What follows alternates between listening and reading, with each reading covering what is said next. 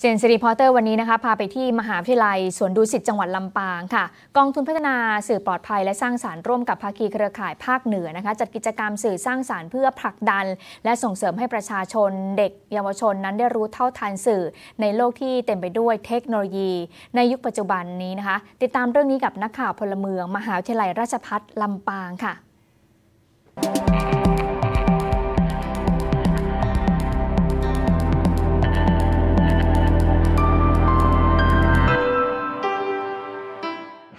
กิจกรรมผนึกกำลังสื่อสร้างสรรค์สร้างนิเวศสื่อที่ดี ณ มหาวิทยาลัยสวนดุสิต ศูนย์การศึกษานอกที่ตั้งลำปาง จังหวัดลำปาง มีการแสดงนิทรรศการและการแสดงสื่อปลอดภัยและสร้างสรรค์ รวมพลังสื่อสร้างสรรค์ สังคมไทยในครั้งนี้ เพื่อผลักดันให้เกิดสื่อปลอดภัยและสร้างสรรค์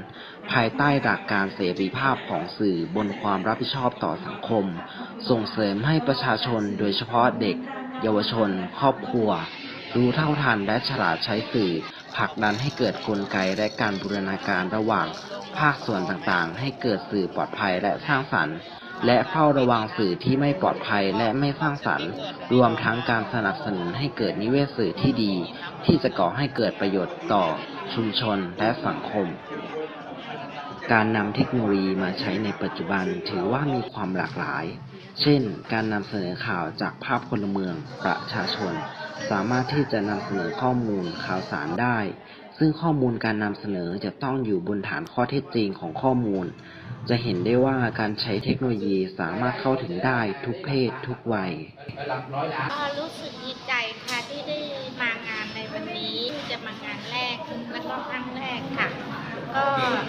นรู้สิ่งใหม่ๆ กิจกรรมส่งเสริมการเรียนรู้การใช้สื่ออย่างสร้างสรรค์ ได้มีการแบ่งห้องแรกเปลี่ยนเรียนรู้ เช่น กิจกรรมปักหมุดจุดประเด็นผ่านแอปพลิเคชันสีไซต์ชวนผู้เข้าร่วมกิจกรรมสร้างพื้นที่ในการสื่อสารของภาคพลเมือง ที่จะสามารถนำไปเผยแพร่กับชุมชนได้ นอกจากนั้นยังมีประเด็นในการพัฒนาสื่อของชุมชน และในรั้วมหาวิทยาลัย จำนวนการใช้สื่อหรือเทคโนโลยีมีจำนวนมากขึ้น มีการเข้าถึงทุกเพศ ทุกวัย ถ้าหากใช้ในทางที่เป็นประโยชน์ก็สามารถที่จะนำมาสู่การพัฒนาของชุมชนและสังคมได้ ซึ่งก็มีหน่วยงานต่างๆ ที่ส่งเสริมให้ภาคประชาชนมีส่วนร่วมในการสร้างสื่อปลอดภัย และสร้างสรรค์ เช่น การส่งเสริมเนื้อหาสื่อเรื่องศีลธรรม จริยธรรม วัฒนธรรม และความมั่นคง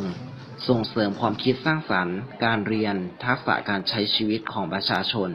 โดยเฉพาะเด็กและเยาวชน และส่งเสริมความสัมพันธ์ที่ดีในครอบครัว และสังคม